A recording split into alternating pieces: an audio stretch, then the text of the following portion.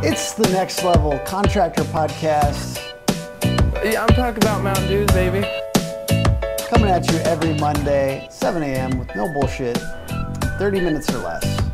Eat bread and desserts and just get all fat and sassy. We're helping small businesses and contractors be more profitable with better leads and better systems. We'll do it live. Do it live. I can, I'll write it and we'll do it And live. I'm here with David Tal today, and we're talking about the lead conversion gap and how businesses need to adapt to changing expectations. How you doing, David? I'm doing great. Thank you so much for having me. So tell me real briefly about your company, and then we'll save any pitch for the end of the, the podcast. In the meantime, we're just going to shoot straight value to the listener. Just a quick uh, what it is. Sure. Uh, well, what we do at Verse is we help uh, businesses engage and qualify their prospects at scale. The idea is to work with businesses that are generating inbound web leads, help, helping them to engage those uh, prospects, qualify them for their sales teams or for, for their own internal teams, and set up appointments um, and to drive higher Yeah. conversion uh, for the full funnel. So you could think of us as a next generation contact center that leverages multi-channel, you know, SMS, phone, and email to to engage prospects and move them down the funnel. And just who is it for? Quickly, kind of like say what ranges of business, what are they doing, um, just so people can identify themselves if they're you're in your sweet spot. Yeah, so we work with a lot of the um, companies and businesses and service professionals in the housing industry uh, and beyond, but our 90% of what we do is in the housing industry. So we work with real estate agents and brokers, mortgage companies, um, you know, architects, developers, home flippers, construction companies, roofers, um, you know, And, like you were kind of saying earlier, you were saying like that they have leads between like 100 a, a month to 1,000 a month on average.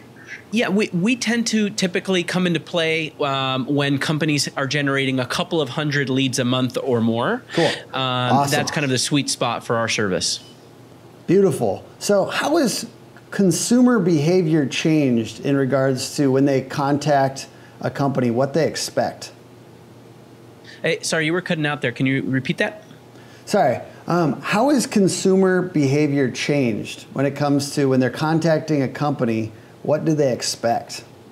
So, you know, th- this is something we're pretty passionate about because, you know, the whole you know focus on, on what we do and why we are passionate about what we do is about is really about listening to those changing consumer behaviors and expectations you know 15 years ago you know when i got start, started as a real estate agent and, and then a broker I, I saw firsthand the big change in how uh, consumers met uh, businesses. It used to be all face to face. You remember the whole saying location, location, location? That was everything, right?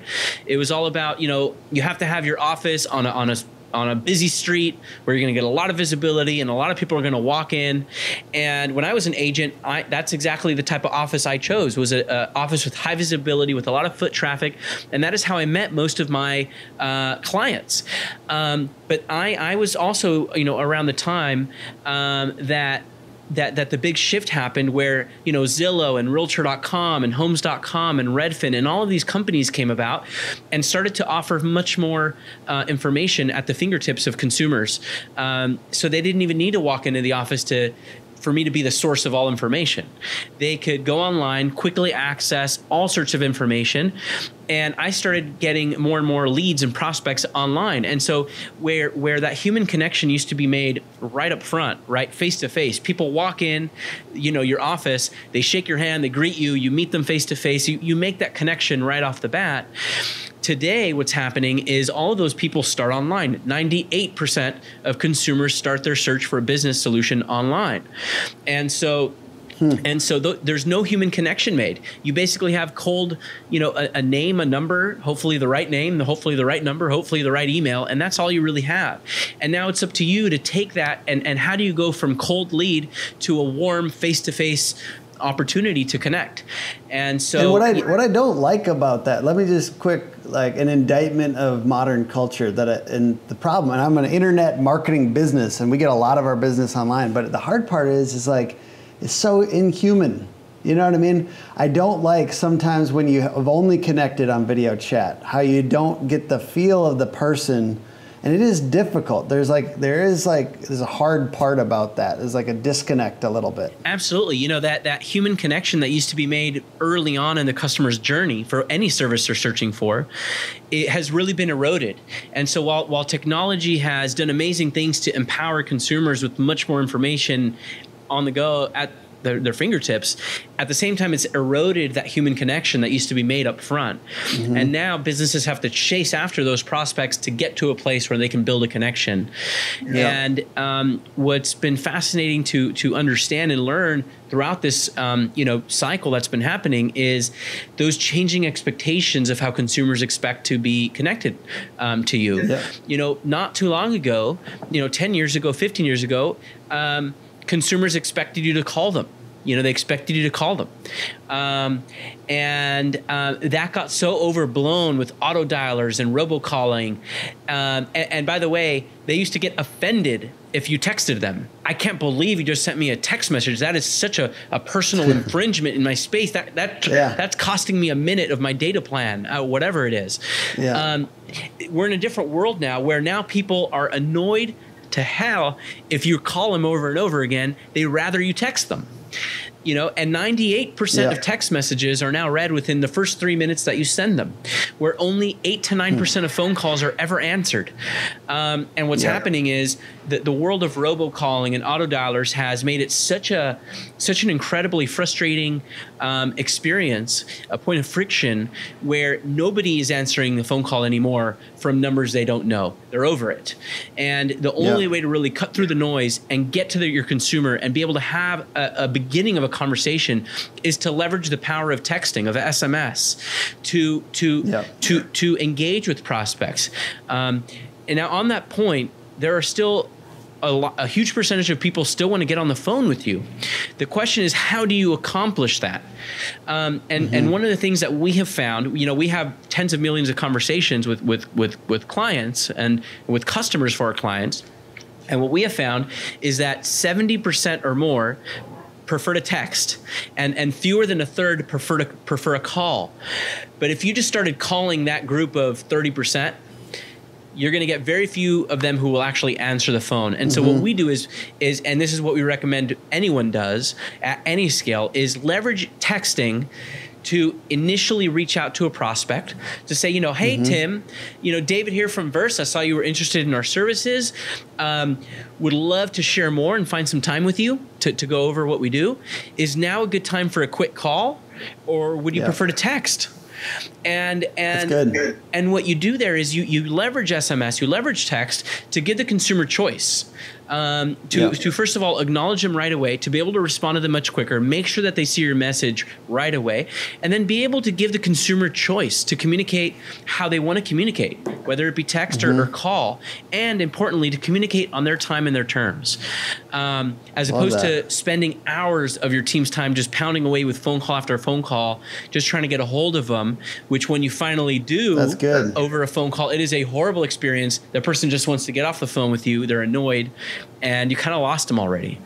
Um, and so, what is, what is like some more context and like phone etiquette once you do get on the call with them? What is what are some principles you've seen that are effective in uh, in those calls if they have expressed some interest in you?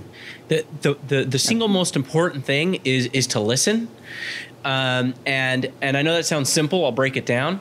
Um, so many people out there once you're on the phone they're just tr- they're just excited. They finally got you on the phone and they're just trying to tell you all of the things they could do for you. And from a consumer's perspective that is just the salesiest thing in the world. It's like walking into a car dealership and the guy starts to come to you before you're ready and you know you, you mm-hmm. haven't even told him what you're looking for and, and he just starts to bother you. Um, yeah. sorry to all the car dealers out there. You're, it's not all of you. Um, but Bob from Subaru, you know what I'm talking about. Yeah, um, Bob knows. Anyways, um, so, but but the idea is to listen, and and this is by the way how we train our own internal sales team, right? Because we use our product on ourselves. You know, leads come in, we qualify them, we book appointments for our sales team. But once they're on the phone with that prospect, it's all about discovery discovering the pain points and what your customer is really looking for and pulling on the thread this is a, a, a term we use here is keep pulling on that thread so mm-hmm. someone may say uh, for example, let's just use a, a, a you know a, a, contractor, a construction company as an example. Let's say, you know, uh, they they get a prospect that's interested in building a, a new a, a, new home, custom home. All right. Um, well, if they start saying right off the bat, "Oh, we do this and we do that, and we use materials, and we're going to save you money, and we can do prefab, and we can do modular, and we can do this, and we can do that, and and and, and I'm going to put solar panels," you know, you're overwhelming the consumer. I'm obviously exaggerating here a little, but yeah. you're overwhelming the yeah. consumer as opposed to the conversation details. should be that's wonderful. Yeah. Why are you considering building versus buying a, a home that's already built that mm-hmm. you can mm-hmm. remodel? Great. Yep. Um, and and and you know, are you have a family? Great. How old are your kids? You know, are they going to be leaving the yeah. nest soon? So are those yeah. rooms as important? Is it important? Are they young kids? Do they need space? Do you need to, to build outdoor areas for them to run around? Um, any sports yeah. they're into? You know, do you guys watch a lot of TV or are you kind of a no TV household? Ask the types of questions that are relevant. Do you spend a lot of time cooking? You, it's all about yeah. gathering as much data to, to, to, paint the perfect picture of who you're talking yeah. to and get a really good understanding of, of not how they can benefit you and your business, but how you can best understand what is most important to them in life. That is how you build a connection. And when, when, people feel listened to, and when you ask all those questions up front, and then you can cater your solution and your recommendations directly at each of those um, items that are important yeah. to them. And that is how I think you build trust. And and when you build trust, the rest comes easy. That's awesome. I love that. We talk so much about trust because a lot of times we're trying to help people trust your website more? Because oh, just a real quick side note on trust. I think a lot of people do that in conversation particularly in face-to-face conversation very well. They know how to create trust. They'll quickly uh, especially like you know people that know what they're doing they'll establish uh, you know authority by mentioning a few things in a non uh, in a non promotional way but they'll mention a few things about them and their company so that people understand and can trust them. It's actually a service to that person. It's not a pride thing. It's just making sure that they understand that you're competent and your company is does quality work. But they don't do some of those things. They don't share some of those credentials or the important points, the track record. They don't do it as well on their website a lot of times. So we always talk about how you got to get that out onto the website and make sure that that uh, is clearly displaying trust and all those things that people need to trust you. Now, I kind of want to get into text etiquette if you don't mind. Um, if they did say, I just want to stick with text for now, if they choose your own adventure, if they chose that adventure, um, what would you say some principles for making sure your texting is more effective? Absolutely. So, so I have a few, a few, a few items there. First of all, the majority of people, no matter the demographic, by the way, the majority of people prefer to initiate via text. Um, it's less intrusive, and most people are are filling out a form or inquiring while they're at work, while they're busy, while they're on the go, while they saw an ad, while they were on the go waiting at Starbucks, um, or right after they put their kids to bed and they're on the computer and they're filling out forms it's not like they carved out a bunch of time to talk to you right after they fill out a form, and so um, mm-hmm. and so one of the, one of the most important things about text is that you're able to start a conversation. And by the way, they can take ten minutes to respond to each of your questions via text, but it's okay because that conversation can take an hour in relative terms, but can be a matter of five or six texts total by the end of it. But you're doing it in between when they're when they're able to respond. Most people will once you're in conversation will, will get going, but the idea is is that you're not forcing them to carve out a certain part of their day. And most people are in this world that we live in that is hyper uh, in your face, a million things going on, multitasking like crazy, and they're, they're not able to carve out time.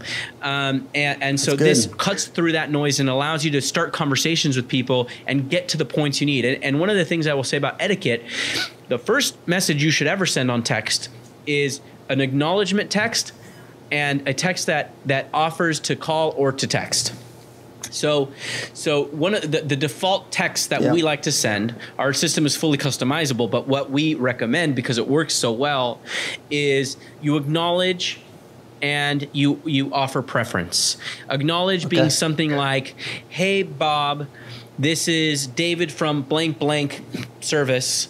Saw you inquired about XYZ. I would love to um, chat with you more and and share what we can do and learn more about what's important to you.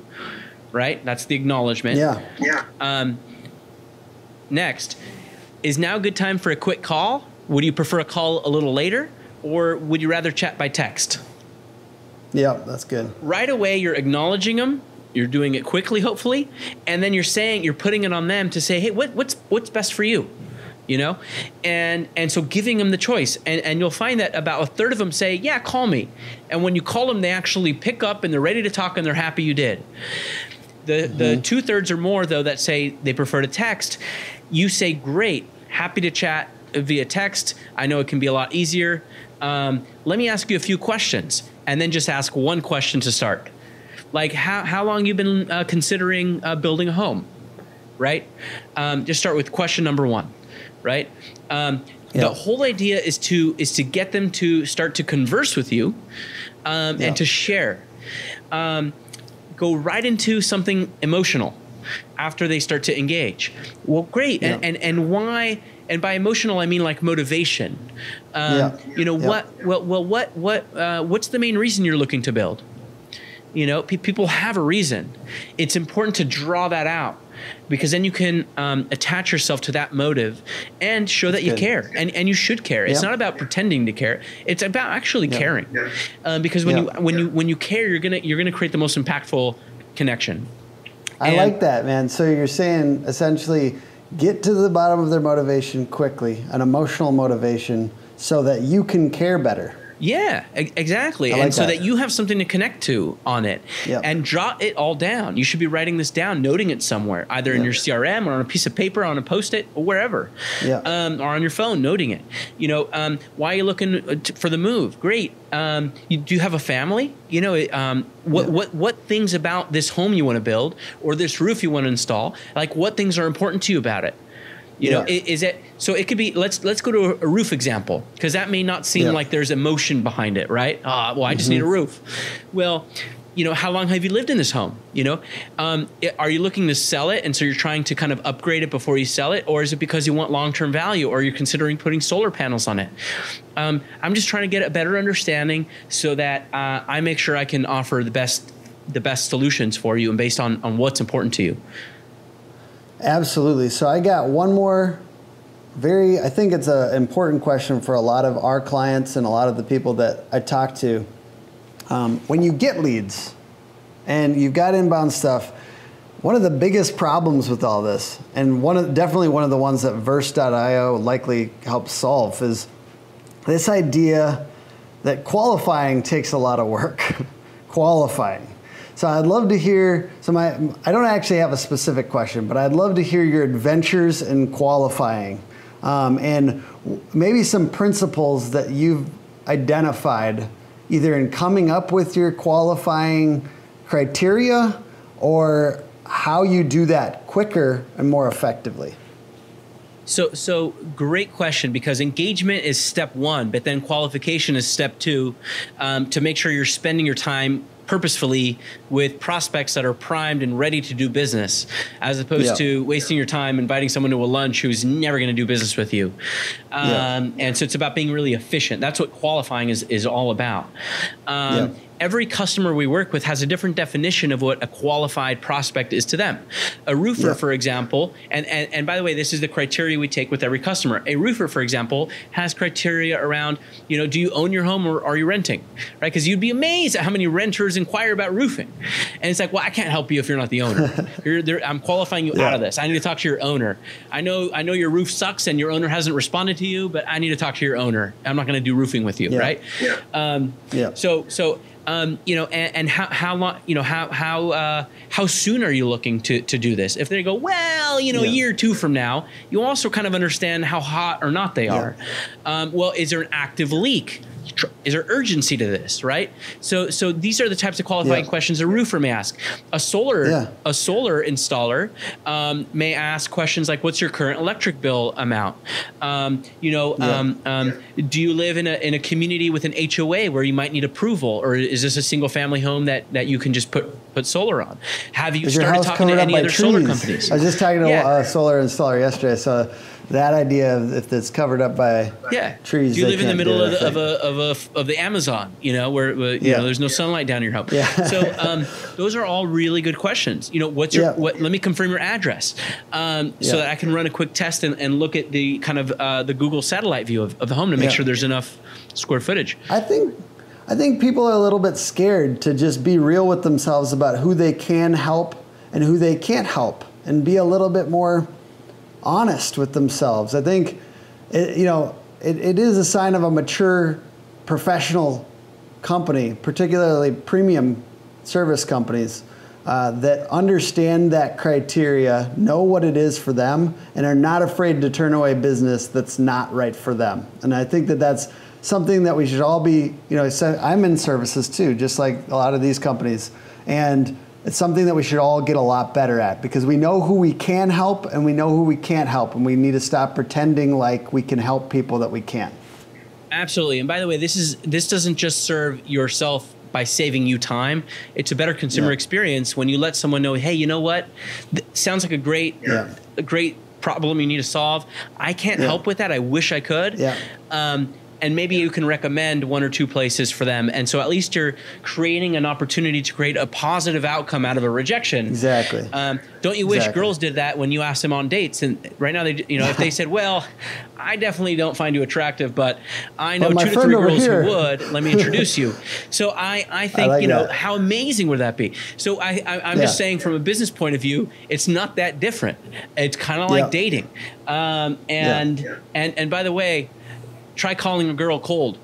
You gotta you gotta go on Tinder and Bumble, right? You gotta go on apps and Yes. I mean I don't know There's anything be, about this. five I'm married. contacts. Yeah, exactly. But but but my point is is is it's not that much different um, Yeah. than than than getting getting into a conversation and find, finding if there's a viable opportunity to take the relationship any further.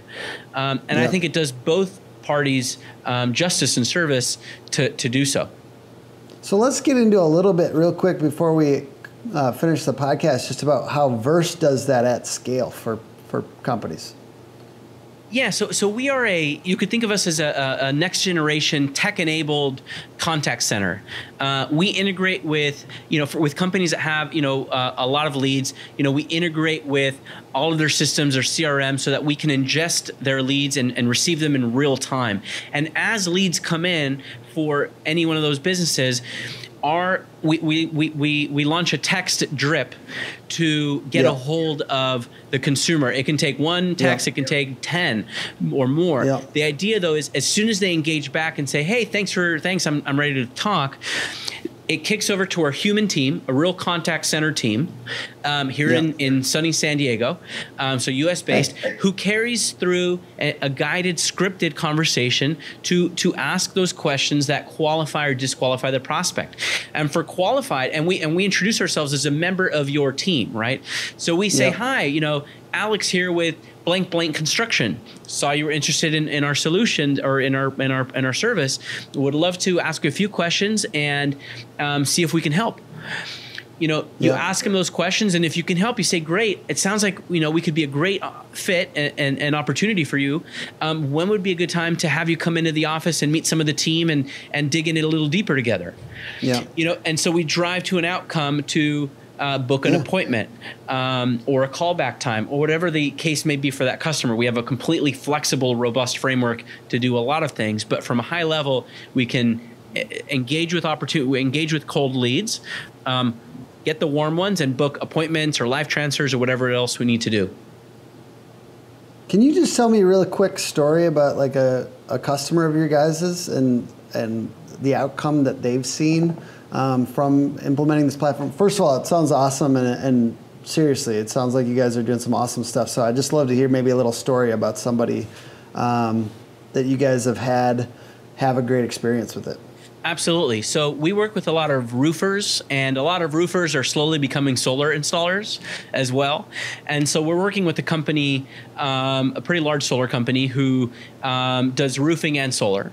And they generate a lot of leads from organic on their website, Google searches, Yelp, everywhere that they get leads, different lead gen sites for solar and roofing and contractors, and they, um, you know, they have they have one one guy who kind of comes into the office from nine to five um, when he's not sick and not on holidays, and uh, and of course not on weekends, and any leads that came in, he kind of responds to as quickly as he can, usually within a few hours or a day or two, depending if it's a weekend or if the lead came in at night. Gets a hold of about 20% of those prospects after like 10 call attempts. And only a small percentage Oof. of those end up booking a, an on site appointment with their roofing solar installers to get a quote on site on their property. Yikes. Verse is introduced, and immediately, the moment someone inquires about solar or roofing with that company, immediately a text goes out um, saying, "Hey Bob, Alex here with Blank Blank Solar. Saw you inquired about about our services. Would love to ask you a few questions and and see if we can get you a quote. Is now a good time for a quick call, or would you prefer to text?" 70% say say text, 30% say call. But what we do is we get a hold of almost 80%, almost 80% of the prospects compared to 20%. Okay? Yeah. So we get a hold of far more people, almost four times as many people. We qualify them. We end up out of the vast majority, uh, out, out of a much larger pool of people we are able to talk to, we were able to book almost twice as many appointments from the same volume of leads. So so now their installers are, are giving twice as many quotes every month to people Yeah. on site on properties than they were before us with the same lead volume. They haven't started spending any more online. They just leverage the power of instant engagement, of relentless follow up, and of multi channel approach that allows a consumer to communicate the way they want to. And that's what drives all, the, all the conversion. It's not it's not really science. It's kind of logic, but it's it's it's Yeah. it's that we we enable this and we enable businesses to to to spark these conversations at the right time, um, twenty four seven, um, and and achieve the results they're looking for. I love that, man. And it's you'd mentioned something about like um, following the thread or tease. I can't remember what you were the saying thread, earlier. pulling the thread. pulling the thread. It's ask I'm and assuming why that and if, why, you know? if uh, if somebody wanted to learn more about that, or just straight up they want to learn more about your platform, they can call your guys' team and talk about that a little bit. Yeah, they can, they can come to verse.io, and we promise Yep. not to cold call you. Um, Yeah. you can come to verse.io um, and and schedule a free uh, kind of consultation. And and Yeah. our and our sales reps are, are experts at asking you the right questions, pulling on your thread to understand what like your that. process is like. And and we're honest. Hey, if we can help, we tell you exactly how we think we can help. And if we cannot help, we tell you we tell you why. Um, we don't I want to like waste that. anyone's time. Like And and and by the way, we're we're technology experts here, so it's very Yeah. consultative. So if we cannot help, we may say, hey, you know what? Um, we could help, but you don't have the, the volume that would make Yeah. sense for this investment with us. So I think you could leverage some of these other tools out there and manage it on your own to start. And once you get overwhelmed and you have a hundred, couple hundred leads a month coming in, let's talk again. And and we're all about Right. just helping helping um, our customers or prospective customers succeed. When they succeed, we succeed. Well, yeah, sorry, we were breaking up a little bit there, but I just I, I really appreciate you coming on the podcast, talking to our folks, and certainly they I believe that they probably will have learned some awesome things about texting and calling for sales stuff and follow ups, and uh, just any other things that you want to share with the the audience before we wrap it up.